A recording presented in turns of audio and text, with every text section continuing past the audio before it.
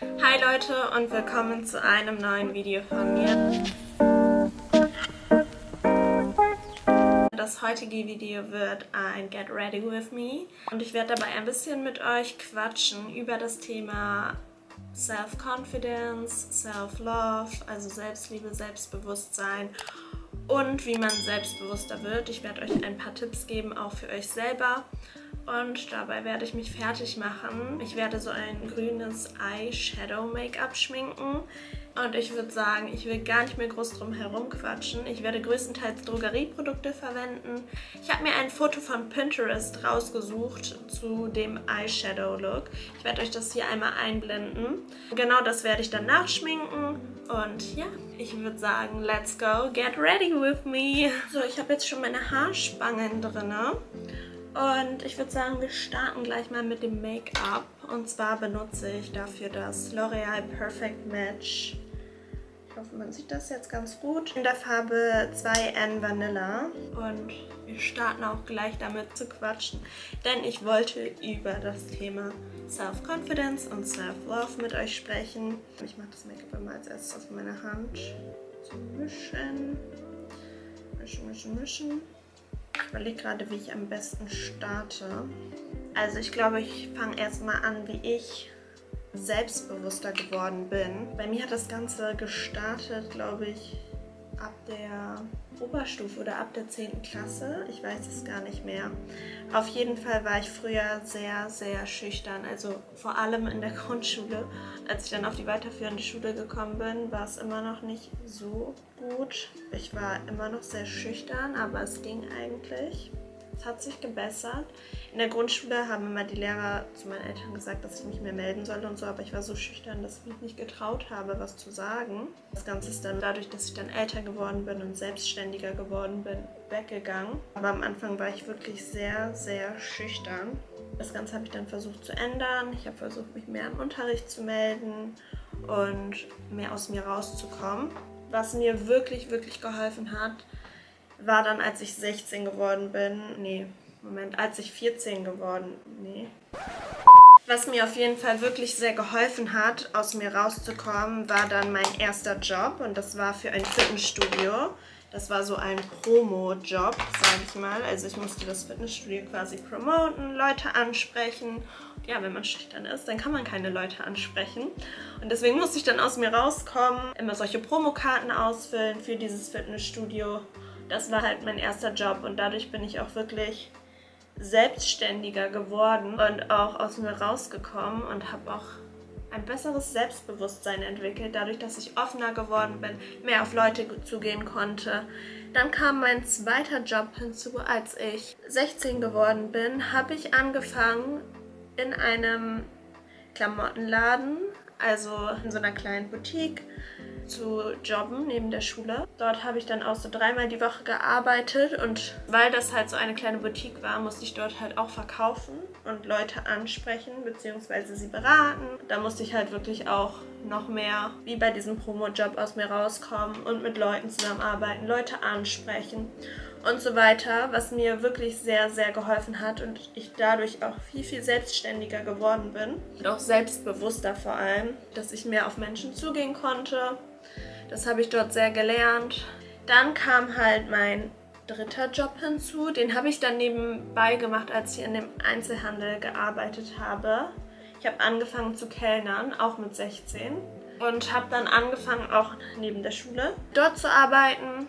Und Kellnern ist ja auch ein Job, wo du sehr viel Selbstbewusstsein haben musst, weil du musst halt auch mit den Leuten reden, mit den Gästen. Du musst gut mit denen klarkommen und so weiter. Du musst halt dort sehr selbstbewusst auftreten. Das ist genauso wie im Einzelhandel, wenn du halt Sachen verkaufen musst, weil die Leute dich halt sonst nicht wirklich wahrnehmen oder nicht auf deine Ratschläge hören. Und wenn du Leute berätst, dann wollen die ja vielleicht auch eine Meinung von dir haben. Und wenn du dir da so unsicher bist, selber so schüchtern bist und sowas, dann klappt das halt nicht. Ich benutze jetzt den Augenlöscher-Concealer von Maybelline. Das hat halt alles so in der 10. Klasse angefangen. Die Oberstufe über habe ich dann dort auch noch gearbeitet. Nach der Oberstufe war das dann bei mir so, dass ich angefangen habe, nee, beziehungsweise ich habe im Einzelhandel aufgehört nach der Oberstufe, weil es mir irgendwie keinen Spaß mehr gemacht hat. Ich habe drei Jahre dort gearbeitet und irgendwie brauchte ich dann Abwechslung. Und nach der Oberstufe war ich mir eh nicht sicher, was ich machen wollte. Und bin dann die Produktion quasi gegangen. Also was ganz anderes, da brauchst du auch kein Selbstbewusstsein, da musst du einfach nur arbeiten. Und es war halt so ein Ferienjob und ich wollte halt einfach nur schnell Geld verdienen, dadurch, dass ich halt mich dazu entschlossen habe, nach dem Abitur ins Ausland zu gehen. Das war 2018. Und ich habe das dann so für mich entschieden. Ich wollte das schon immer machen, aber dass ich das Ganze dann auch so wirklich in Angriff genommen habe, war relativ spontan, genau nach meinem Abitur. Und im Oktober bin ich dann auch geflogen und zwar nach Australien und dort habe ich dann Work and Travel gemacht. Leute, das ist so, man kommt einfach aus seiner Comf Comfort Zone raus. Man ist ja immer so, hm, weiß nicht, immer so in seinem, alles so bequem und alles so irgendwie hat so seinen Lauf und sowas, aber dort war ich dann wirklich auf mich alleine gestellt. Also das war so das erste Mal, wo ich alleine verreist bin. Ich bin alleine dorthin geflogen und habe dort dann neue Leute kennengelernt und dort musst du halt wirklich offen sein und auch wirklich irgendwie auf Leute zugehen und so, damit du auch Leute kennenlernst dort. Genau, und dieser Schritt dorthin, ins Ausland zu gehen, dort einfach irgendwie mein Ding durchzuziehen, beziehungsweise das zu machen, worauf ich Lust habe, das hat so echt einen großen Schritt quasi gemacht für mich. So, dass ich mir dachte, ist mir einfach egal, was irgendwie andere mir sagen, weil viele haben mir das auch nicht ausgeredet, aber meinten, ja, was machst du, wenn du dort nichts, keinen Job findest oder was machst du, wenn du, weiß ich nicht, wenn es dir dort nicht gefällt, wie willst du direkt wieder zurückkommen? Du bist einfach so weit weg von Deutschland. Aber es war für mich so irgendwie ein Wunsch von mir und ich habe es dann einfach durchgezogen. Und ich bin auch wirklich froh. Es war die beste Zeit meines Lebens, kann ich euch sagen, dass ich das getan habe. Ich bin so aus mir rausgekommen und ich habe dort einfach gelebt. Wisst ihr, manchmal muss man Sachen auch einfach machen. Das ist auch so ein Punkt, weil man denkt manchmal viel zu viel daran, was eigentlich sein könnte oder was passieren kann. Man macht sich manchmal einfach viel zu viele Gedanken.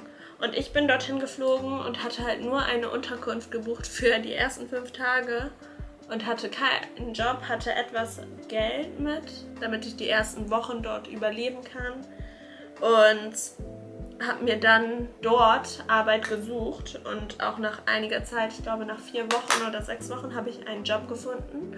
Und das war dann halt auch wieder Kellnern, weil ich ja die Erfahrung aus Deutschland schon hatte. Das war halt auch so eine Sache, man muss sich einfach mal Sachen trauen wirklich und Sachen machen. Und ja, das war so ein springender Punkt für mich, wo ich mir so dachte, du machst das, was dich glücklich macht. Und im Endeffekt war es wirklich das Richtige. Dort hat sich dann auch so, wie ich es mir erhofft habe, alles irgendwie hat sich ergeben. Ich habe dort Freunde gefunden und ich bin auch teilweise mit ihm zusammen rumgereist. Wir hatten eine gemeinsame Wohnung dann dort, die wir auch dort dann gefunden haben. Das war so zum Thema Unterkunft. Ich habe als erstes in so Hostels gewohnt, wie halt so Backpacker in Australien leben. Aber das verhilft einem wirklich zu mehr Selbstbewusstsein. Auch wirklich mal auf sich alleine gestellt zu sein und Sachen zu machen, von denen man so denkt, eigentlich sind die unmöglich für mich. Oder nicht unmöglich, aber irgendwie hat man Angst, diese Sachen zu tun. Ich benutze jetzt den Camouflage Matte Concealer, um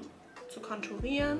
Das war halt so eine Sache. Also ich kann euch auf jeden Fall den Tipp geben. Eins, wenn ihr halt offener werden möchtet und selbstständiger auch euer eigenes Geld zum Beispiel verdienen wollt, was auch sehr viel mit Selbstständigkeit und selbstbewusster werden sind halt so Jobs, wo du auch, auch wirklich auf Menschen zugehen musst. Und ich finde, irgendwie ist es auch ein schönes Gefühl für sich selber, irgendwie etwas zu tun und sein eigenes Geld zu verdienen. Man lernt viel besser mit sich selber klarzukommen. Das steigert dann auch irgendwie das Selbstbewusstsein dadurch, dass man Erfahrungen sammelt.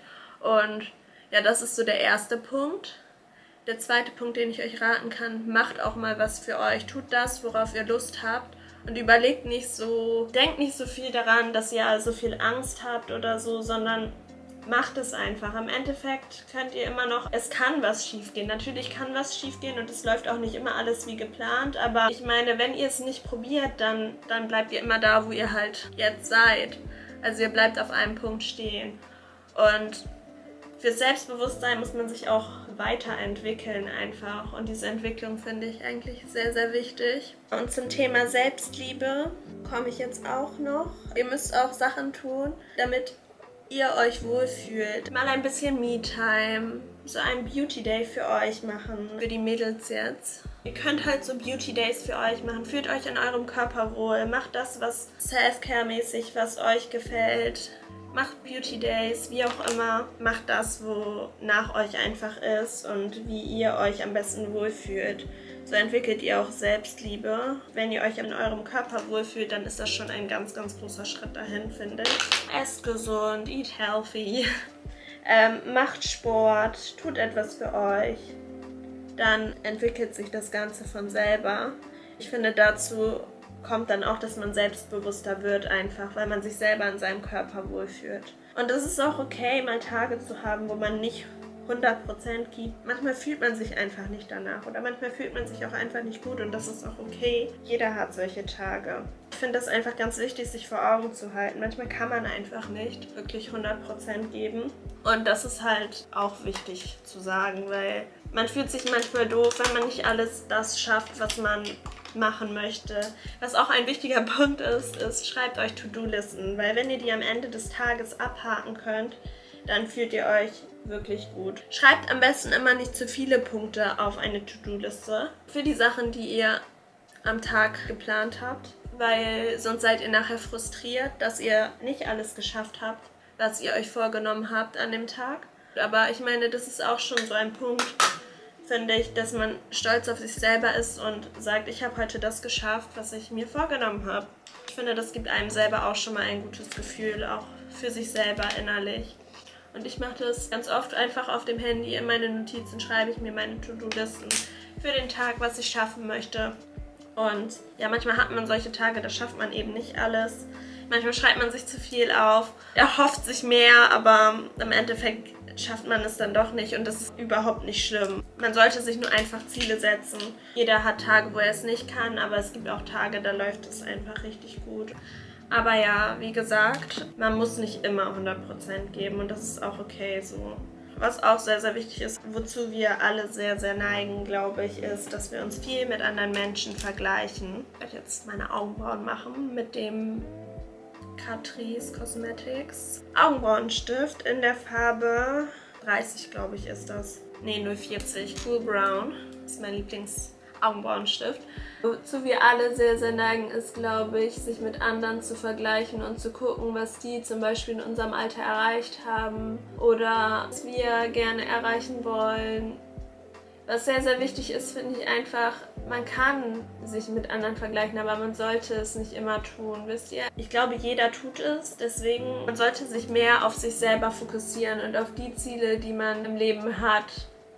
Man sollte nicht immer auf das gucken, was andere machen quasi. Jeder, finde ich, hat seine eigene Laufbahn, sag ich mal wie, wann er was erreicht. Und glaub mir, wenn du dich auf dich selber fokussierst und das tust, was dich weiterbringt im Leben und nicht immer auf das guckst, was andere machen. Was ganz schlimm ist, eifersüchtig auf andere sein. Jeder ist auch mal neidisch und denkt sich, ja, oh, ich hatte das auch gerne oder so. Aber ich finde, das sollte nicht so bösartig sein, wisst ihr? Man sollte einfach sich nicht bösartig irgendwie vergleichen oder neidisch sein oder wie auch immer. Das Ganze sollte eher so ein Ansporn sein für dich selber, auch zu sagen, oh, ich möchte das auch und ich schaffe das auch. Ich möchte das auch erreichen und ich werde mich dafür anstrengen. Das ist so ein Punkt, der auch ganz, ganz wichtig ist und wo man sich auch darauf fokussieren sollte. Das ist so dieser Selbstfokus. Du legst halt den Fokus wirklich auf dich selber. Das darf man nie aus den Augen verlieren. Man darf sich halt wirklich nicht zu viel einfach mit anderen vergleichen. Jeder kommt an das Ziel, das er erreichen möchte, wenn man nicht aufhört, wenn man einfach weitermacht wenn man das tut, was man gerne machen möchte. Das bringt einen weiter. Du musst immer einen Schritt näher kommen, auch wenn du halt manchmal langsamer vorankommst. Das ist überhaupt nicht schlimm, weil im Endeffekt selbst kleine Schritte zu deinem Ziel sind auch Schritte dorthin. Das ist so, selbst wenn du kleine Schritte voran machst, ist es so, dass du irgendwann dein Ziel erreichen wirst. Und mal sind deine Schritte größer und mal sind sie kleiner, aber jeder fängt klein an. Man darf auch nicht aufhören, irgendwie an sich selber zu glauben, finde ich. Das Ganze wirklich in Angriff zu nehmen. So, oder zu denken, man schafft es nicht. Weil wenn du anfängst an dir selber zu zweifeln, dann werden dich auch andere nicht mehr so wahrnehmen. Deswegen glaubt immer an euch selber. Selbst wenn ihr innerlich manchmal euch nicht 100% fühlt oder selbst wenn ihr manchmal nicht 100% geben könnt, dann versucht es nach außen hin nicht so wirklich auszustrahlen. Wirkt stark, wirkt auf andere stark. Das hilft einem im Kopf auch sehr, sehr viel selber weiter, weil dadurch redet man sich das, finde ich, selber ein und das Wichtigste ist auch, glaube ich, das Mindset einfach, was man sich selber so aneignet. Ich meine, wenn du immer negativ gestimmt bist, immer denkst, du schaffst das nicht oder immer eine schlechte Einstellung gegenüber dem Leben hast und deinem eigenen Leben, dann kommt man auch nicht wirklich voran. Das ist so das Wichtigste, glaube ich. Alles beginnt halt im Kopf und dass man wirklich an sich selber glaubt und immer sein Ziel vor Augen hat, was auch das Selbstbewusstsein irgendwo ausmacht. Du musst dir deines Selbstbewusstsein und auch das, was du kannst, an dich glauben. Das sind so Sachen, die halt sehr, sehr wichtig sind. Du musst auch mal dir eine Pause gönnen und Sachen tun, die dir einfach Spaß machen. Lies ein Buch oder beschäftige dich einfach mit den Sachen, die dir Spaß machen. Geh zum Sport, aber verlier nie, niemals deine Ziele aus den Augen. Das, was du dir setzt, das kannst du auch schaffen und glaube an dich selber und dann werden das auch andere tun, finde ich lass dich nicht von anderen runtermachen. Es gibt manche Menschen, die haben so, wie gesagt, von Grund auf ein schlechtes Mindset und sind einfach negativ gestimmt, ziehen dich runter und ich finde, das strahlt auch dieses Toxische aus, dieses Toxic People. Wenn Menschen dir versuchen, ein schlechtes Mindset zu vermitteln, dann stimmt was mit denen selber nicht und sie müssen an sich selber arbeiten. Und auch wenn sie irgendwie euch schlecht darstellen oder so und ihr im Endeffekt gar nichts richtig dafür könnt, wie deren Einstellung ist, dann liegt es an ihnen und nicht an euch. Und ihr müsst euch dann auch wirklich keine Vorwürfe machen, sage ich mal, dass ihr irgendwie schlecht seid oder so oder weiß ich nicht. Dann stimmt irgendwas mit denen nicht und nicht mit euch. Ich werde jetzt eben meine Wimpernzange heiß machen, damit ich meine Wimpern schon mal hochbiegen kann. Und dann beginne ich mit dem Augen-Make-up. Diese Seite habe ich schon hochgebogen. Diese Seite. Perfekt. Wimpern habe ich auch hochgebogen. So, ich mache jetzt weiter mit der Eyeshadow-Palette von Revolution. Findet ihr auch bei Rossmann. Naja, auf jeden Fall war ich stehen geblieben damit, dass ihr halt nicht jedem gefallen werdet oder nicht jeder wird euch immer mögen. Das ist auch okay so. Es wird einfach immer Menschen geben, die euch halt nicht nichts gönnen oder euch einfach nicht mögen, eifersüchtig auf euch sind, auf das, was ihr tut oder auf das, was ihr macht. Und solche Menschen wird es einfach immer geben, aber ich finde, auf sowas darf man einfach nicht hören. Ich mache das jetzt so, dass ich hier mein Auge einmal komplett mit diesem hellen Ton, ich benutze den hier. Und das mache ich jetzt einfach erstmal auf mein Auge als Grundierung quasi. Also man darf einfach nicht immer auf die Meinung von anderen Menschen hören. Ihr müsst einfach euch selber treu bleiben. Ihr müsst nicht darüber nachdenken, was andere davon halten oder denken, weil im Endeffekt müsst ihr euch selber damit wohlfühlen und selber glücklich damit sein irgendwo suche gerade mal so einen Ton. Probiere es einfach mal, glaube ich, mit dem hier. Und ich benutze, glaube ich, jetzt meinen Finger. Das ist so ein Goldton. Den mache ich jetzt ganz am Ende von meinem Auge hin. Aber ich glaube, der ist zu hell. Probiere es mal mit dem Braun hier. Mit dem hier. Was ich so außen hin mache. Es kommt dem Ganzen hier schon näher. Ich benutze jetzt dieses Braun und mache das hier außen auf mein Augenlid mit meinem Finger. Zeige ich das auch. Das Ganze mache ich jetzt auch noch auf der anderen Seite. Naja, auf jeden Fall müsst ihr euch immer vor Augen halten, dass es nicht jedem passen wird, was ihr tut oder was ihr macht. Und ihr müsst aber für euch entscheiden, weil das ist euer Leben. Ich weiß, das wird oft gesagt, aber es ist ja so. Es ist wirklich euer Leben und ihr müsst glücklich damit sein. Ihr müsst mit euren Entscheidungen happy sein mit dem, was ihr tut. Weil im Endeffekt nachher seid ihr sonst unglücklich, weil ihr etwas nicht getan habt. Nur weil ihr auf jemand anderen gehört habt. Auch mal einfach, was ich am Anfang gesagt habe, das zu tun, bevor ihr vielleicht Angst habt, aber ihr wollt es ausprobieren. Und ich meine, jeder kann scheitern. Ich mache jetzt vorne, gehe ich in die Mitte mit Gold. Auch wieder mit meinem Finger. Trage das hier jetzt so in die Mitte auf. Weil nachher seid ihr sonst traurig, dass ihr etwas nicht getan habt und bereut das vielleicht später. Ich denke immer so, dass man mit, keine Ahnung, wenn man später auf sein Leben, wenn man alt ist, zurückschaut und sich denkt, wow, was habe ich alles erlebt oder was habe ich alles getan und nicht so, wow, was hätte ich alles erleben können oder was hätte ich alles machen können, als ich damals noch jung war, beziehungsweise als ich noch die Kraft dazu hatte.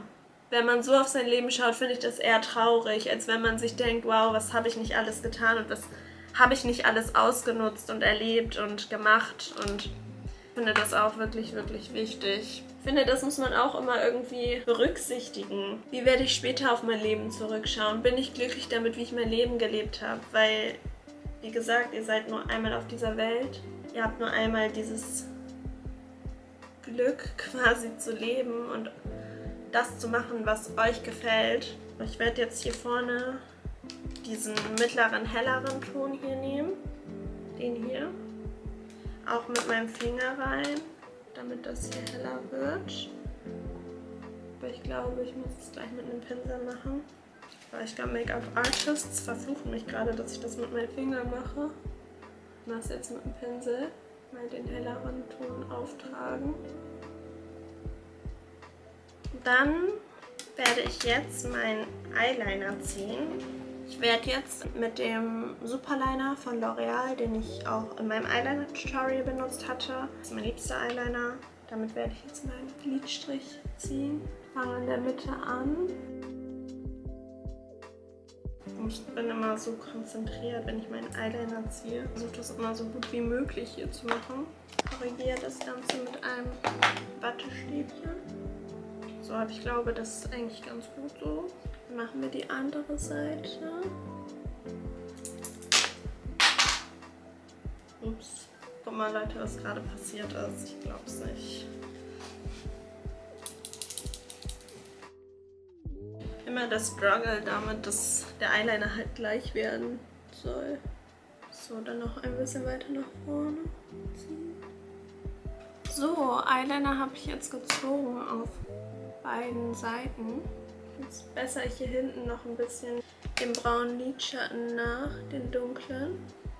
Ist auch wirklich so... Ich hoffe, ihr seht das jetzt. Es ist aber noch nicht ganz ready. Ich mache hier noch oben ein bisschen Gold hin. So. Und dann starten wir. Ich glaube, ich muss den Eyeliner noch ein bisschen weiter nach unten ziehen. Ein ganz klein wenig. So, ich habe den jetzt noch ein bisschen weiter nach unten gezogen. Dann verwende ich so einen silbernen Long Lasting Stift von Essence und ziehe halt im Augeninneren einen Katzenaugeneffekt quasi. Ich weiß gar nicht mehr, wo wir stehen geblieben waren. Man sollte auch einfach sich selber wertschätzen und seinen Wert auch kennen. Ich werde das Ganze jetzt mit Grün und so einem. Das ist so ein Lidschatten hier, den ich benutze von Art Deco. Damit werde ich jetzt das untere Augen, den unteren Augenbereich hier unterm Auge nachschminken. Ich hoffe, dass es gut wird. Ich bin gerade echt konzentriert, Leute, deswegen rede ich gerade nicht so viel. Aber ich finde, das sieht eigentlich schon ganz gut aus. Ich werde jetzt nochmal aus dieser Revolution Palette des, den Grünton hier in der Mitte benutzen, um auf der Wasserlinie hier unten sozusagen einen Kajalstrich zu ziehen, aber in grün mit Lidschatten. Ich versuche hier dieses Bild vom Pinterest nachzustellen. Dann benutze ich jetzt nochmal diesen Long Lasting Kajal um das Ganze ein bisschen zu schwärzen. Auch auf der Wasserlinie. Gehe noch mal ein bisschen mit dem Grün. ein bisschen hier den hellen Lidschatten rein, damit das Ganze hier auch schön hell ist am Augenlid. Etwas Highlighter von Sleek benutze ich den. Den mache ich auch ins Augeninnere, damit das Ganze auch schön glänzt hier. Hier außenrum machen wir nochmal ein bisschen braun. Am äußeren Eyeliner mache ich das jetzt. Aber ja, abschließend zu dem Thema kann ich euch sagen, tut das, worauf ihr Lust habt. Fixiert euch auf euch selber. Verfolgt eure Ziele. Macht das, was euch glücklich macht. Hört nicht auf andere. Ich klebe mir jetzt noch Wimpern auf, hinten am Wimpernkranz. Das sind die Kiss Lashes in Pompadour. Die klebe ich jetzt noch. Aber nur hier hinten. Ich schneide mir die immer zurecht. Damit das so ein bisschen so ein Cat-Eye-Look-Effekt hat. Ich mache das eigentlich immer. Dass ich hinten halt Wimpern klebe. So. Jetzt noch auf der anderen Seite.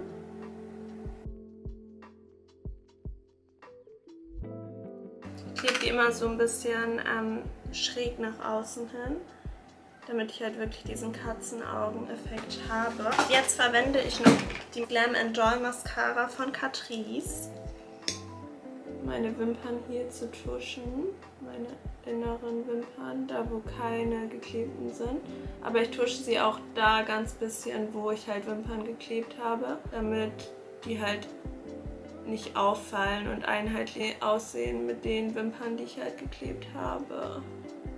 Damit die halt auch geschwärzt sind. Tusche die aber nur ganz leicht, also nur so ganz bisschen unten. Dass man sie halt nicht sieht. Dann noch meine unteren Wimpern. Dann drücke ich das hier noch so ein ganz bisschen zusammen. Drücke halt die Wimpern hinten hoch. Ich habe ein bisschen geschmiert. Das Ganze machen wir sauber. Und gehen nochmal mit dem Pinsel etwas drüber, dass es nicht auffällt. Ganz zum Schluss, was heißt ganz zum Schluss, nachdem ich, bevor ich halt noch den Lippenstift drauf mache, mache ich noch etwas Highlighter unter meine Augenbrauen. Dazu benutze ich den Sleek Highlighter hier und mache das Ganze so ein bisschen glowiger über dem Lippenkranz noch. Mein Augen-Make-up ist fertig. Ich hoffe, es gefällt euch und ihr könnt das gut sehen. Das ist halt dieser so ein Green Eyeshadow Look, weil ich hier unten halt so grün gemacht habe mit grünem Lidschatten und ich finde das sehr, sehr schön. Das ist wirklich gut geworden. Zum Schluss verwende ich jetzt noch meinen Manhattan Lip Liner. Und male meine Lippen etwas nach. Dann verblende ich meinen Lip Liner und mache jetzt den Gloss drauf. Ich benutze den ähm, Lifter Gloss von Maybelline. Den mache ich jetzt noch drauf. Das ist mein Lieblingsgloss. Ich verwende den eigentlich immer. Der riecht so, so gut, Leute. Der riecht echt mega. Und mein Fixing Spray. Das MAC Fix Plus. Und ja, Leute, ich zoome euch mal wieder ein bisschen raus. Nicht näher, obwohl einmal näher ran, damit ich euch den Look